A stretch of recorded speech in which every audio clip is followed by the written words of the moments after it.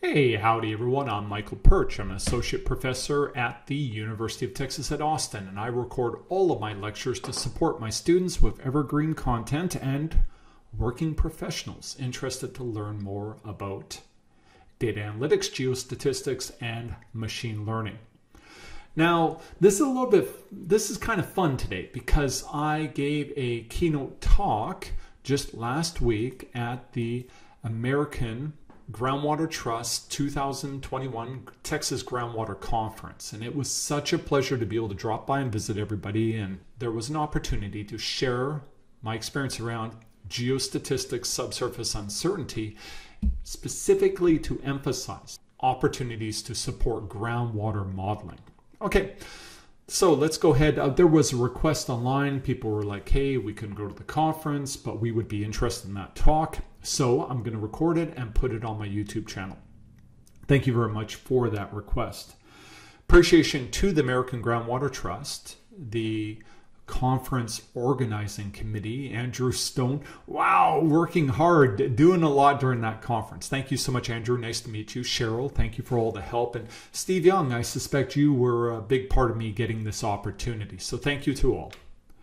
What is my motivation? Why did I jump at the opportunity to give a talk at a groundwater conference? Well, I do believe there is an opportunity to expand awareness and the implementation, the use application of spatial data analytics, geostatistical uncertainty for the purpose of supporting a vital Texas resource, and I would say a resource that's vital no matter what state or country you're in. Groundwater is huge, and I, I respect that. and I'm very excited about that. Now, I have to admit, I also love the water. I often say that the water is part of the be- uh, maybe the best part of the state of Texas. I just love it so much. I people who follow me on Twitter know that I do almost every week. I do a kayaking trip. I have um, eight kayaks in my garage. I invite a lot of friends, neighbors, uh, student groups will go along with me. Uh, people, faculty from the university, or visitors from industry will join in. My family grew up my kids shown here, two of them grew up in kayaks. And so this is just a funny story. Um, there were many trips when my kids were young when I'd have a uh, very young one sitting in the back hatch of my kayak with their life jacket and all the safety stuff, of course. And then two other kids towing behind, um, roped up in succession in their own little kids sitting side kayaks, the Arcadia Scouts, which are really cool. And so I would be paddling, pulling along, technically three kids. And so um, I used to love that. That was, to me, a great way to get a little bit of exercise and training. I'll tell you, though, it's very hard to kayak when you've got two kayaks behind you going like this the whole time. it makes it very challenging. I'd be paddling, I'd be pulled back. Okay, I should not sit here and tell stories. I should do maybe sometime I'll do some story time type of videos, but I love the water of Texas. I love Texas. Um, I told them at the conference, I wasn't born here, but I got here as soon as I could. It's a great state. Now, let me refine my motivation, be a little bit more technical, a little bit less um, sentimental or emotional about it. Really, I want to share educational resources, modeling concepts, practical workflows to support professional development. I provide links as I demonstrate methodologies in this talk so that you can actually download code in Python. And in one example, I do it in Excel. I'm actually going to, today, I think I'll write that up in Python for fun. Today's going to be a fun day. Any day you code is a fun day, folks. I'll tell you. Okay, so I share all my University of Texas at Austin lectures and well documented workflows on GitHub. Anyone who's on this channel knows about this. And so I do it to support my students with evergreen content that outlasts the semester. I think that's important. And I hear from many students. I'm excited to hear that they still use the resources and working professionals. We're up to about 20,000 uh, views per month, which is really exciting. I hear a lot of great feedback. Let me know if you're using the content. It makes me happy. I really want to give back. Okay, okay, so what I'm going to do is I'm going to introduce myself. I'll provide a little bit of background, talk about my team and collaboration. You'll see there's method to my madness. It'll kind of set up this. And then we'll talk about What is subsurface uncertainty? This is going to be the really fun part of the talk where we get to define uncertainty, become a little bit philosophical about what it means and what do we do with uncertainty and how do we work with it and, and so forth. It is something we can manage. Okay, then we'll go ahead and we'll look at the overall subsurface uncertainty modeling workflow, and I'll give a bunch of examples of building blocks, the pieces that you can use in order to get the job done. I'll provide well documented code examples that'll be demoed. Uh, I don't know if I'll do it live, but the demos are animated and showed in slides, and you can check them out. Okay, so let me go ahead and introduce myself a little bit more. This feels a little bit like caveats, kind of like I'm making excuses for myself, but my undergraduate education is in fact mining engineering. It was the intersection of geosciences and engineering, which to me is just fascinating. My graduate studies included geotechnical engineering. I got pretty close to finishing a master's in it when I turned to the dark side and went to geostatistics with a focus on integrating geologic information sources with co supervision over in Earth and Atmospheric Sciences at the University of Alberta. Shout out to Professor Catuneanu. Thank you very much for being my um, supervisor on that, along with, of course, my primary supervisor, Clayton Deutsch, um, working in geostats up there. I'm currently an associate professor at the Cockrell School of Engineering and Jackson School of Geosciences at the University of Texas at Austin. My home department is the department, the Hildebrand Department of Petroleum and Geosystems Engineering. Shout out to my department. Okay, caveats. Oh, I, I feel like I'm already giving caveats, but I'll carry I'll carry on. My professional experience and practice has been focused on subsurface characterization, modeling, extraction planning for oil and gas, mining, resources of the subsurface. 13 years of industry experience, four years working in academia. Now, now that I'm in academia, I do see the opportunity to work in any spatial resource problem, and that does still include energy, mining, groundwater now with some early collaborations excited to do that. And even i have a student working with the ic squared group on community development. We we see all space is space. The subsurface is space. Communities exist in space. It's all about space in my remarks, I will focus on the data driven subsurface property modeling, that the uncertainty modeling aspects, but at the same time, I in the back of my head I'll always recognize that the inter- this is a challenging integrated geologic and engineering problem. And so I'm not talking about the physics based modeling of groundwater, its flow, its phreatic head, and so forth. Um, no, I'm not talking about that, but I recognize that that's a big part of this challenge and can be integrated into anything I talk about, of course. I also understand that groundwater faces an additional challenge, and I believe it's analogous to the reserves reporting issue of the energy and mineral area of subsurface. That is that they need to communicate with stakeholders, that includes the public and shareholders and so forth. And so the technical approaches have to meet specific standards and be transparent to the public and so forth. I understand all of that complicates things. Let me just make a couple of comments about myself on and off of campus. On campus, this fall will be up to 15 PhD students. New consortium. Um, I also have, if you want to hear about the consortium, contact myself or Dr. Foster. Energy Analytics is a freshman research initiative and inventors program in natural sciences, and I am a core faculty of the machine learning lab in computer sciences. Off of campus, I partner with Dr. John Foster and Daytum to teach uh, working professionals. And I've taught 1,700 subsurface professionals over 44 events just in 2020 alone. I get kind of tired just thinking about that. So I do a lot of that. This photo is from before the pandemic when everything was in person, but we transitioned to remote and we'll be happy to be in person again shortly. Okay that was shame. I hope that was not too shameless and self promoting, but I hope you can see what my background is. You can see my focus on education on and off of campus, and this will kind of motivate and explain what's going on later. What is subsurface uncertainty? I wrote a chapter in a book with Clayton Deutsch a couple years ago, and um, it, it was really cool. We, we basically just said sparse sampling plus heterogeneity equals uncertainty. I think that's a great way to describe it. We know that if you were to have either homogeneity or very dense sampling, you would not have significant uncertainty. It would definitely reduce the uncertainty. What does heterogeneity and sparse sampling mean in the field? Well, credit to Professor Zane Jobe from Colorado School of Mines. He had this photograph on Twitter looking at the Brushy Canyon Formation, Guadalupe uh, Mountain National Park, and this is an example of a submarine deep water channel margin. I love this stuff. This is so cool. So within the channel fill, you have these types of massive, they might be called the Bouma sequence TAs, type of rock right here where it's just massive sandstone. And then you go a short distance and boom, the world changes. Thin bedded mud, um, probably shaly and sandy um, thin beds mixed in together.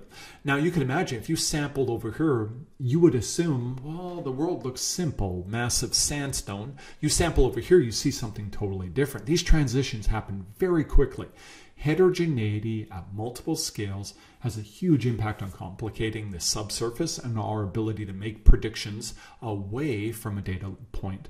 Now, we got if we had homogeneity and it was massive sand everywhere, it wouldn't matter. And if we had dense sampling, we had wells at very tight spacing, we could figure this all out. It wouldn't be so bad. So, uncertainty, sparse data plus heterogeneity. Now, what's fascinating is uncertainty is not an intrinsic property of the subsurface.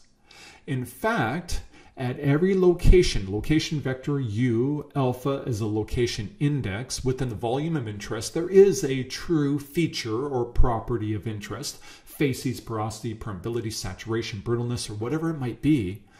There, we, it is available and it could be measured if we had access. The way I like to tell my students is if I was to look at a location in the subsurface and I was to go there I could, I, don't know, teleport myself, or if I could drive a drift in a shaft and, and access that rock, and I pointed to it and I asked the earth, what is the porosity there? The earth would not look at me and say, I don't know, it's uncertain. It could be between 14 and 18% porosity.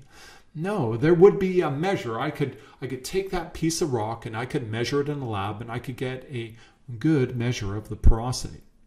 What does that all mean? It means uncertainty is a function of our ignorance. It's our inability to observe and measure the subsurface with the coverage and scale that we're required to answer our scientific questions and support our decision making. Uncertainty is not an intrinsic property of the rock. It is a function of our ignorance. Now, I promise you, that's the rudest thing I'm going to say today.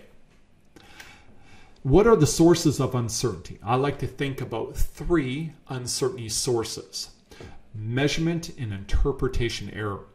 Every time we measure the rock, here's an example of a core that's been sectioned and photographed from the Bureau of Economic Geology at the University of Texas at Austin. Thank you very much. Here's an example from the Spraberry Formation. Midland Basin, Texas. When we take measurements from this rock, well, there's all kinds of issues. There's tool tolerance, there's calibration errors. We had to make all kinds of approximations and assumptions when we measure the rock. And of course, when we look at the actual sample you're measuring, well, you extract core from the subsurface. Uh, you've gone from in situ conditions to extracting it to above surface conditions, pressure and temperature. You've also got issues with when you extract core, it's, it's a pretty violent process. And to what degree does that disrupt the sample? Every data point we have in the subsurface has a thick, irreducible layer of interpretation. Interpreter experience, prior model, uh, the analog choices, and all the other assumptions that go into it are going to have an impact on the precision of the measurement. So we have measurement and interpretation error. What I like to tell my students is because of this, we really do not have any hard data. In other words, data that has a high degree of certainty we really do have soft data. All of our data does have significant uncertainty attached to it. Even if you move away from the data locations, you're going to recognize that every time you build a model in the subsurface, there is a whole suite of decisions related to the model. Model parameters, the geologic domains, the property trends, spatial continuity, global distributions. What's the probability we sampled the entire distribution of your property of interest, say porosity? What do I tell my students? You've sampled only one trillionth volumetrically of the subsurface.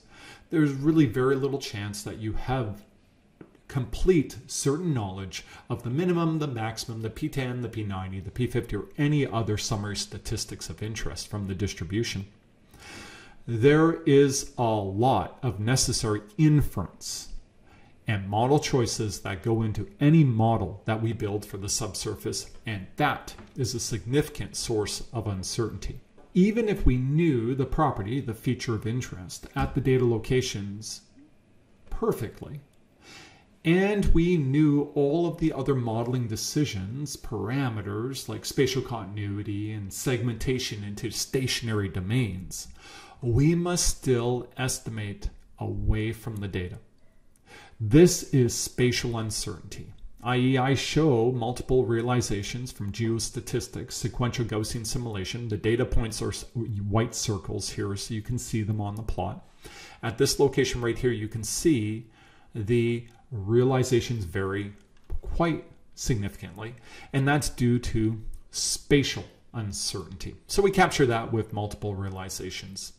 If we're going to talk about uncertainty, we must recognize that uncertainty is very sensitive to scale. The way I like to pose it to my students is which would be harder to estimate the porosity or the volume, the size of the room you're in, look around, Look at your room. Imagine that room. You're estimating the porosity over that whole room, one number. Or to estimate the porosity over a cubic centimeter, something you could put in a little teaspoon of, of rock for that room. Which would be harder? Which would have more variability? Look at this example right here. We go from very small scale, well, 100 meters, 200 meters, 500 meters. As we go up in scale, look what happens the histogram variance shrinks, the amount of dispersion reduces. In other words, the larger the scale, the less the dispersion, therefore an easier estimate to make. Okay, if you're interested in how you can solve this problem, well, dispersion variance is a generalized form of variance that integrates scale. Most people don't know that when they use the regular population or sample variance, that that is a specific case of dispersion variance for which you're dealing with data scale within the entire area of interest. Well, we can use these types of measures to calculate how the variance should change as we move between scales. Remember, every statistic, every distribution, every model has an implicit scale assumption. Now let's get a little bit more philosophical about uncertainty. What about uncertainty in the uncertainty? because we've already seen that there is no implicit or objective uncertainty. In fact, uncertainty is a model.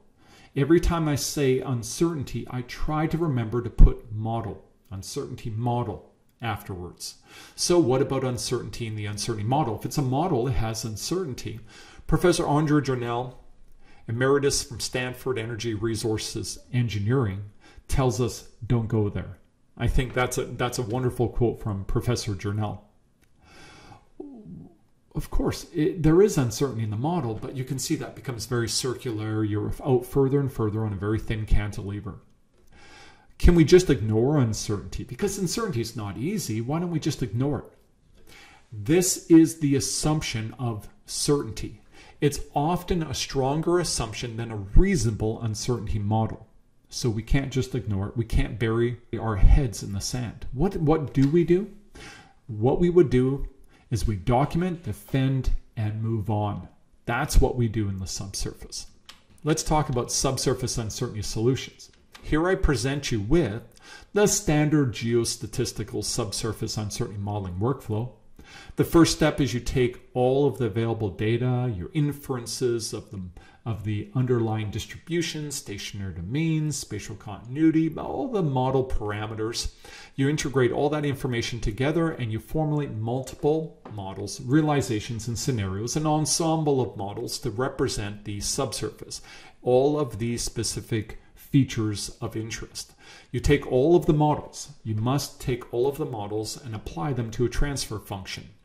What is a transfer function? It is a calculation applied to a model, a form of summarization that gets you to a decision criteria. What does that mean? Well, an example of a transfer function would be flow rate at a specific location, or total pore volume, or total water volume. The decision criteria is whatever gets you closest to value whatever the criteria, sorry to use the word in its own definition, but the criteria used for decision making, it could be flow rates. Now, what I've done is the black boxes are specific geostatistical statistical tools that can be used to augment or to support this workflow. And these are what I'm going to highlight in the rest of my discussion. Let's talk about bootstrap based uncertainty. What is the bootstrap? Well, one of the most powerful statistical developments of the last century. Calculating uncertainty in a model parameter, a statistic, a data set. I tell my students you can bootstrap anything. How does it go? If I have 10 data available to me and I want to calculate the uncertainty in a statistic, that is the average, I will take the 10 data, formulate a CDF. I apply 10 Monte Carlo simulations. What is that? That is random sampling with replacement from the data set. Monte Carlo simulation. The result will be a brand new data set. That's a realization of the data set. Then I calculate the statistic of interest. That's a the first realization of the statistic, the average. I put it over here. Then what I do is I repeat, I get another realization of the data, another realization of the statistic. I put it right here and I repeat, repeat, repeat L times. If I do it enough times, I will sample and get the distribution of uncertainty in the statistic. Isn't that cool? And that is the bootstrap approach. You can use it to quantify uncertainty due to limited sampling. How does that work? Well, you can imagine if you increase the number from 10 to a million, if I had 1 million data and I did 1 million Monte Carlo simulations, could we all agree the resulting realization of the data would be exactly the same? If you had enough samples with replacement, you eventually get back to the same distribution, the same within some level of precision, statistic, and the uncertainty that you would sample would shrink to very, very low.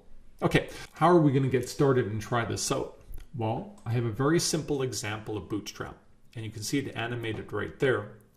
It has been developed in a Jupyter notebook, and the link is available on that slide to my GitHub repository. The experiment goes like this you have a hat, preferably a cowboy hat like I use in class. It's got two red balls, six green balls, and you're going to do a whole bunch of realizations of bootstrap. You're going to draw eight balls with replacement and you're going to count the proportion of red, the proportion of green, and those are your samples. And then you're going to repeat, repeat, repeat. And when you do that, you're going to build the distribution of uncertainty in the proportion of red balls.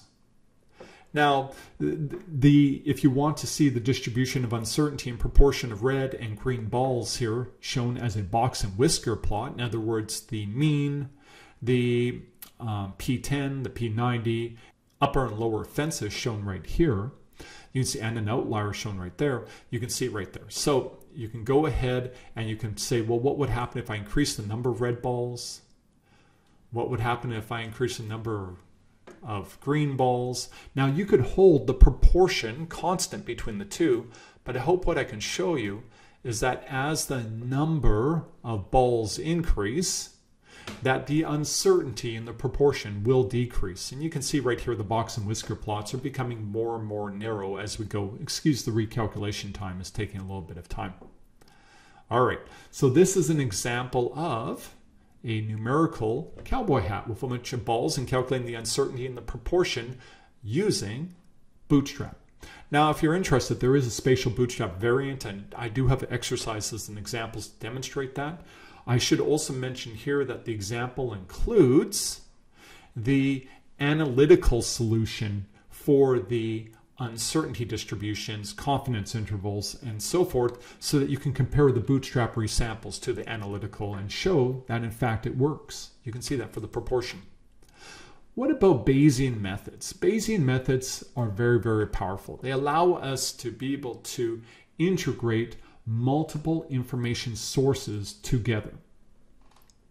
The concept of Bayesian goes like this.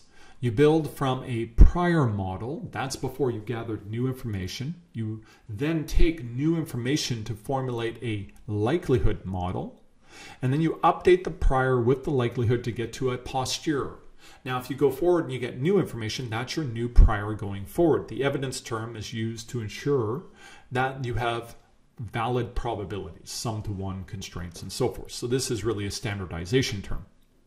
The best way to learn about Bayesian updating is to use the Sivia 1996 first edition of the Data An Analysis, a Bayesian tutorial book. In the first or second chapter, there is this example, the coin problem. The coin problem goes like this. Okay, I'm Professor Pyrcz. I have this coin. I show it to you and I ask you, is this a fair coin? In other words, is the mode of the probability of heads uh, 50%? Okay. Now what you have to do is you formulate a prior model. What's the prior model? You look at me and you say, well, Professor Pyrcz, hmm, seems like an honest person. My prior model is likely a fair coin. Or maybe you look at me and say, Professor Pyrcz, never met him before, don't really know him at all. I'm going to use a naive uniform distribution. That's what's shown right here. In other words, the probability of heads shown right here from 0 to 1, you say, well, my prior is uniform over that. I have no idea what's going on with that coin. Then what you do is you formulate a likelihood. The likelihood is you toss the coin a bunch of times, you perform an experiment, get new data. And when you do that, you had 743 coin tosses, 20% of them were heads, and this is your distribution right here from the binomial distribution. The probability of the that outcome given a specific coin bias. Now what you do is you can go ahead and you can update to a posterior, which is the probability of the coin bias given the tosses. And this is the result right here. Now you can see if you had a naive prior, it has no impact. The likelihood will then go straight to the posterior. Now let me go ahead and show you this live example right here. I think it's a really nice example. I can zoom in just a little bit. And so I show the example right here where you say, well, my prior is that it's 50% is the coin bias. In other words, it's a fair coin, 50% probability of hits. No, no tomfoolery, no weighting of the coin. And you put a little bit of uncertainty around that. Then you toss the coin 230 times and you observe 50%. Now look at this. This is the prior. This is the likelihood. Notice that the posterior is even narrower. In other words, there's an agreement between the likelihood and the prior, and your posterior is even more certain. Now, if you increase the number of coin tosses, you'll see that this distribution narrows. It becomes a higher peak there and less dispersion. And your resulting posterior goes even higher. Now you can start to ask questions like what would happen if the observed proportion of heads is in fact lower than expected in the experiment at 30%, shown right here. And now you can see that the posterior is updating somewhere between the prior and the likelihood, and the uncertainty is going lower. Now I could have a lot of fun showing this this interactive Python code. It's all available to you in Jupyter notebooks, which are really easy to use and run. You download Anaconda, and boom, you have a nice opportunity for experiential learning. I won't spend any more time on it, but the link is here. You can get it on my GitHub account. What about Monte Carlo simulation? Yet another one of those major developments in statistics last century. A very powerful methodology to propagate uncertainty through a modeling workflow. Now, if the world was simple and your problem was take two Gaussian distributions that describe the uncertainty and the thickness of a of an aquifer and now calculate the uncertainty in the total thickness, you could work that out using the back of an envelope and some basic understanding of statistical expectation. You could calculate the mean, the variance, you know it's still going to be Gaussian. It would be very straightforward. But the world is not that simple. In fact, you have non parametric distributions or complicated distributions, and you don't just do addition, you have complicated equations. And then you have all kinds of things like thresholding and nonlinearities. Like it gets very complicated. The way we solve those problems to calculate uncertainty in a result or response is through Monte Carlo simulation. We characterize the uncertainty in all of the inputs. We sample and propagate through the workflow to get uncertainty in the response. Monte Carlo simulation, very powerful tool for calculating uncertainty with its assumptions, and I'm not getting into that right now. I have a very nice workflow at this link right here, Jupyter Notebook, and you can try out changing the distributions, three distributions, and you can add and multiply them together, and you can see that it's not so simple. It's not going to all be Gaussian and simple to work with. What about geostatistical simulation? I recently did some work where I used geostatistical simulation to integrate information sources, so many information sources, and put them all together. These are very, very powerful methodologies. They build spatial property realizations that honor the local data, the global distribution, spatial continuity, trends, covariates, secondary information. They're very, very powerful methodologies. Do you want to get a chance to try some of this out? I recommend you download and work with this interactive sequential Gaussian simulation on a regular grid demonstration. In this demonstration, you can move around the data, you can change the spatial continuity, you can change the random number seed, and generate multiple realizations. And look at them. You can even change the number of cells if your computer runs a little slow and it'll be able to run faster and faster because of course when you do sequential Gaussian simulation, you're sequentially growing the Kriging matrices, and it can slow down a bit. Subsurface property or feature realization is very powerful to be able to integrate spatial data and model parameter uncertainties.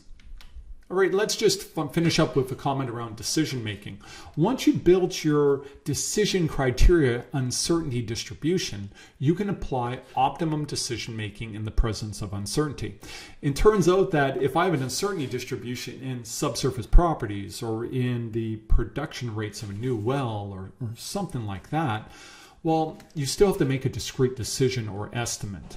You can't just say, well, we'll drill uh, probability distribution of water wells or will probabilistically drill a well. No, you drill or you don't drill. And so we can use these methodologies, which are based on, first of all, what we've discussed of building an uncertainty distribution, calculate a loss function to quantify the cost of underestimation overestimation, shown right here. It's asymmetric in this case. And then we can calculate with this the expected loss as a function of the estimate we make. And from that, we can pick the decision or estimate that minimizes the expected loss. What do I teach my students? I teach them that if you don't impact the decision, you don't add value. Let me just finish up and make a couple of comments. First of all, I hope this was useful and these demonstrations with their links are useful to you. This is an invitation. As a professor at the University of Texas at Austin, I share all of my educational resources. Here's the invitation learn new data science skills to augment your subsurface groundwater modeling workflows. I provided recorded lectures and GitHub um, well documented workflows to support you. And if you're interested, I also teach short courses through Daytum, where I'm a co founder and the chief science officer. All right. Learn new skills for immediate enhanced impact in all you do. Okay, appreciation for this opportunity to give this keynote talk at the Texas Groundwater Conference. I'm happy to discuss and share resources on subsurface data analytics, geostatistics, and machine learning, and I'm easy to find. Here's my email right here. Well, I'm Michael Pyrcz. I'm an associate professor at the University of Texas at Austin, and I share all of my lectures to support my students with evergreen content that outlasts the semester and working professionals, and maybe to encourage people to consider going into STEM and working in engineering and sciences. All right. I hope this was helpful to you. Everyone, stay safe.